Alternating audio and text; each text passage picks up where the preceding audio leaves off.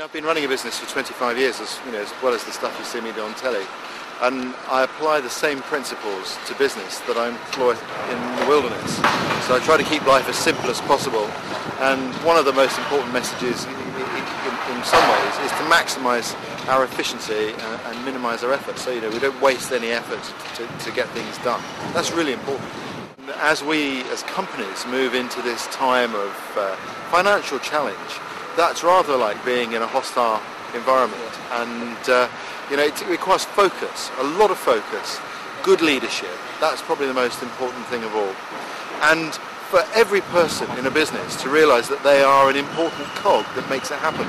It's not just down to management to, to carry the can. It requires every person in a business to, you know, to pull hard on the oars and to see see through the storm. And uh, then afterwards, we can relax again. And that's just like being on a trip in the bush. There are lots of principles. You know, you're canoeing through a rapid and the canoe gets turned around because you hit a rock or something, then don't waste time trying to change it and, and make it go forwards again, except that you're going backwards for a while.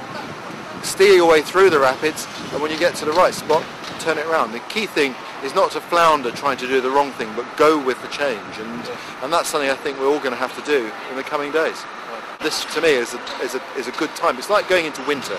You know, any animals that are a little bit uh, sick or unwell, well, winter sorts that out, and that's how it's going to be for some businesses.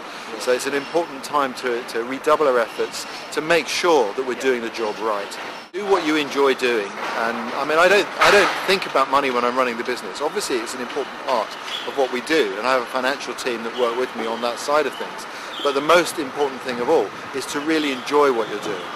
If you're enjoying it, you'll be enthusiastic. If you're enthusiastic, the rest follows. It's very important also that employees in companies enjoy what they're doing. And management must remember that. People give up a large proportion of their lifetime working for a business. It's very, it's, on that basis, it's important that they should enjoy it and get a, and, and, and get a sense of uh, worth and satisfaction from, from that work. I like it up here very much. I had a, had a little walk around Newcastle yesterday, up um, dog leap stairs and through the Black oh, yeah. Gate, and it was it's great. But uh, unfortunately, I've got some appointments I need to, to go to elsewhere. But uh, yeah, no, it's been great to be here.